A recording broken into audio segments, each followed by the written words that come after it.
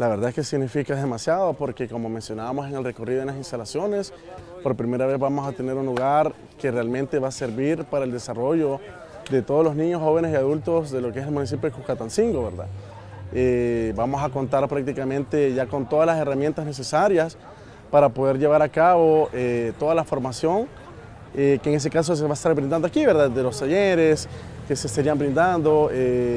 capacitaciones laborales, entre, bueno, entre muchas cosas más que se van a elaborar aquí en el lugar. Se siente bastante el cambio, se siente bastante el compromiso hacia los jóvenes de todo El Salvador porque se están abriendo oportunidades, realmente se están abriendo oportunidades, todo lleva un proceso, todo lleva un tiempo y sí, se están abriendo oportunidades.